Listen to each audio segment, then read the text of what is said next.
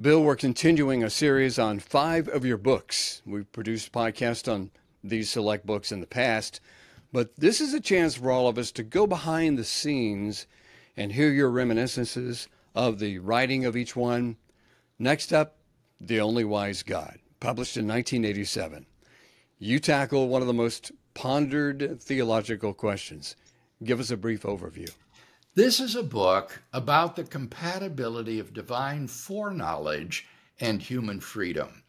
If God knows everything that you are going to do in the future, and if God cannot be mistaken and holds no false beliefs, then are you really free to do other than what God knows you will do? Isn't everything fated to occur in light of God's infallible foreknowledge of the future. Some Christian theologians have said yes, uh, such as uh, Martin Luther and Jonathan Edwards. Others, however, have disputed that claim. And in this book, I wanted to examine the compatibility of divine foreknowledge of the future with libertarian free will.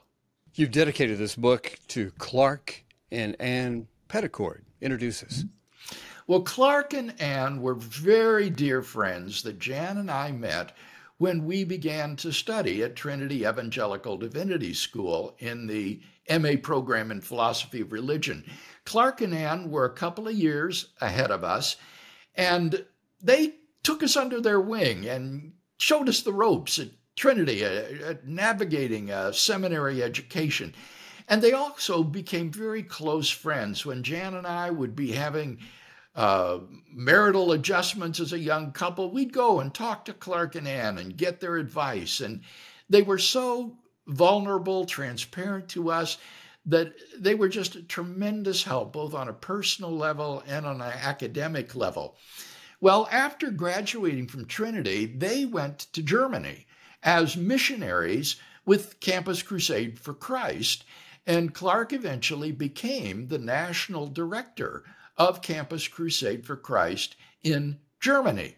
Well, when we finished um, my doctoral studies in Birmingham and uh, moved to Germany and began to study at the University of Munich, once again, we began to collaborate with Clark and Ann, and, and he would give me uh, speaking engagements in Germany. They would encourage us on our way. Um, when I went through that disastrous episode of failing my exams uh, at the University of Munich, Clark wisely advised us not to make any decisions quickly. He said, give it some time. You've got to process this emotionally and then decide what you're going to do. And that was very wise advice for us. Um, years later, after we left our teaching position at Trinity and moved to Belgium, uh, once again, being in Europe, we took up again with Clark and Ann and uh, participated in conferences together and uh, ministry together uh, in Europe. And so they have been uh, good friends who had a, a profound impact upon our lives as a couple.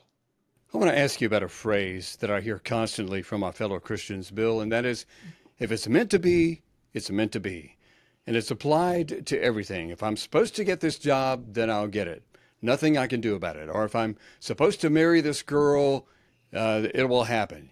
Yeah, but, but what if you don't pick up the phone and ask her on a date? I mean, mm-hmm. you address this in the introduction. You quote Que sera, sera. Is this kind of fatalism something Christian theology teaches at all? Or should we avoid saying that phrase as believers? Oh, I think we should avoid it if it means that there is no human free will. Taken literally, it's just a tautology. Um, of course, what will be, will be, but it is interpreted to mean what will be, must be. And that's an expression of fatalism that everything that happens, happens necessarily, and therefore there is no human free will. And that is deeply contrary to biblical teaching. The Jewish view of humanity is that human beings are free moral agents in relation to God, who can obey and disobey God, and who are held responsible for their moral decisions, receiving either punishments or rewards. So the idea that everything uh, happens necessarily is utterly foreign to a Jewish and biblical view of humanity, and it is not something that I think we should, as Christians, embrace. You also distinguish fatalism from determinism. Do we often confuse the two? I think on the popular level, these are often confused. Determinism is the doctrine that everything is causally determined, so that the choices and the thoughts that you have are determined by prior causes, and those are determined by prior causes. So that once you give the causes, then the rest of the sequence just falls like dominoes. Everything is causally determined. That's not the same as fatalism. Fatalism is a very abstract uh, view which says that even if events are causally indeterminate, nevertheless, in light of God's foreknowledge of them, everything that happens happens necessarily. So there's a kind of logical um, necessity that um, removes human freedom. It's not a causal necessity. The events could be causally undetermined, but in light of God's knowledge, they are fated to occur. Logically, necessarily, they will occur. So we need to distinguish fatalism from determinism. They're not the same doctrine at all. What prompted you to write this book, Bill? Was it something you had always pondered personally? Uh, were you often asked this question, or both? Actually, neither, uh, Kevin.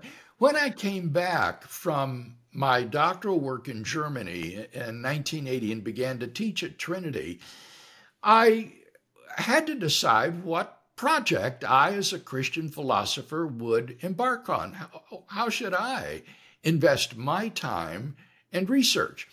And I had read a wonderful little book by Anthony Kenny called The Coherence of Theism, in which Kenny examines various of the attributes of God uh, with a view toward determining the coherence of the Christian doctrine of God. And one of the uh, topics in the coherence of theism is the compatibility of divine foreknowledge with human freedom. And that sparked my interest. And I thought, well, I think I'd like to write a book on the coherence of theism. I'd, I'd like to research this.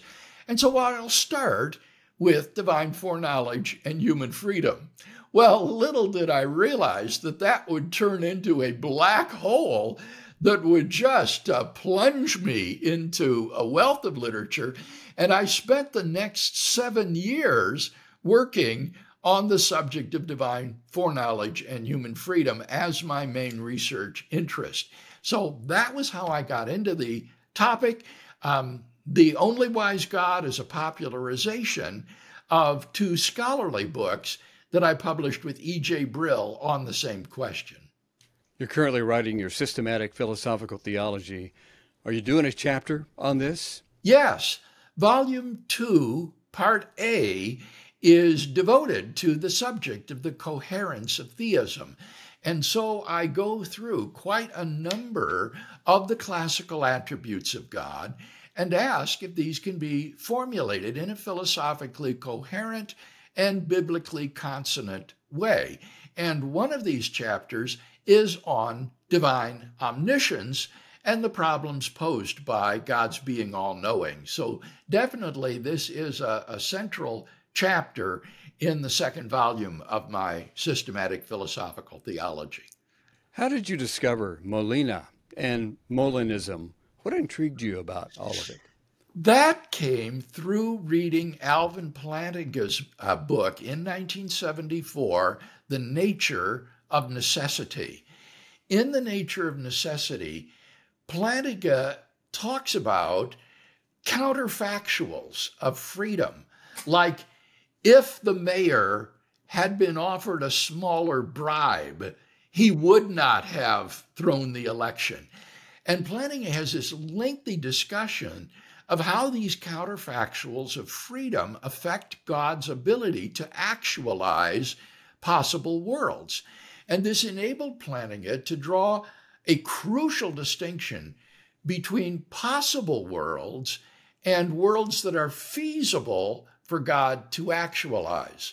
There may be worlds which are logically possible in and of themselves, but which God is incapable of actualizing because the free creatures in them would not do what God wants them to do in the circumstances in which He places them.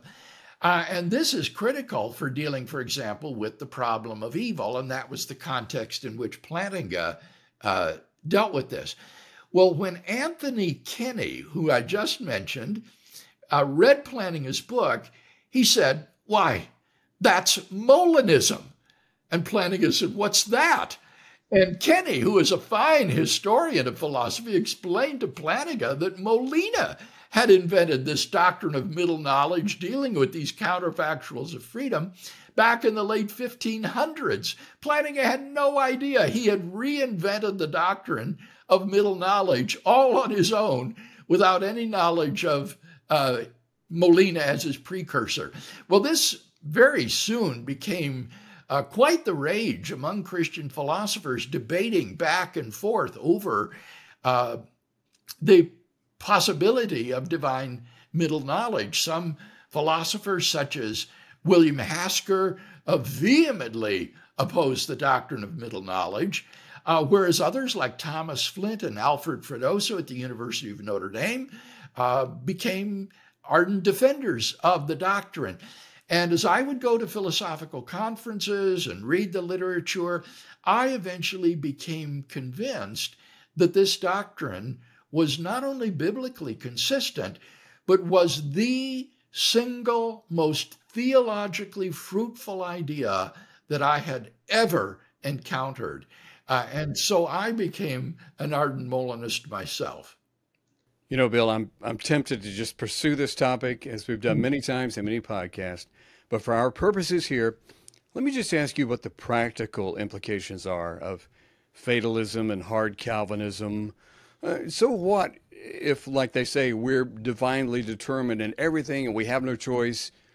And by the way, it, you know, I've met several people who are downright depressed over this issue. Yes, I just read a, uh, an email to my defenders class from a fellow who says Molinism saved his marriage because his wife was an Arminian and he was an ardent Calvinist. And he said they argued all the time about this and were at odds with each other and even came to tears over this issue until he discovered Molinism. And both of them now have embraced Molinism.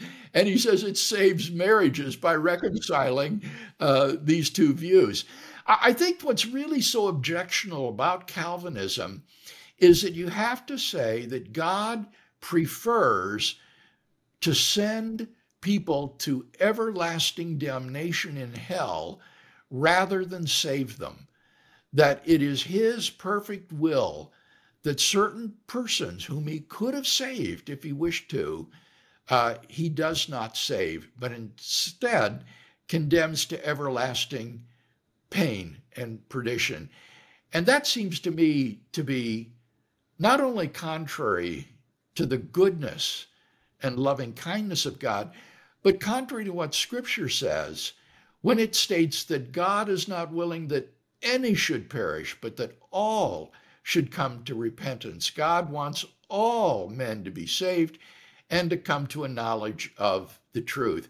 And I think that is an insuperable objection to the Calvinistic view that God determines everything that happens. Take us back to the late 80s when you were writing this, Bill. What was going on with you and Jan? These were the years during which uh, we bought our first home um, at Trinity in Deerfield, teaching there as a young professor, and started our family. Jan and I uh, did not have children for the first 10 years of our marriage. I was involved in graduate school all that time we weren't even sure that we wanted to have children. And I finally came to the decision that we needed to start a family. I did not want to risk uh, deciding against children and then later regretting that irrevocable decision. And so I said, I think we should start a family. And so our little daughter, Charity, was born in 1982 and came home on our 10th wedding anniversary with Jan from the hospital. And then two years later, our son John was born.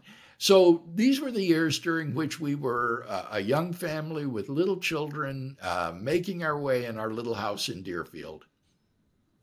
Bill, I know that you're constantly challenged to publicly debate the contents of this book.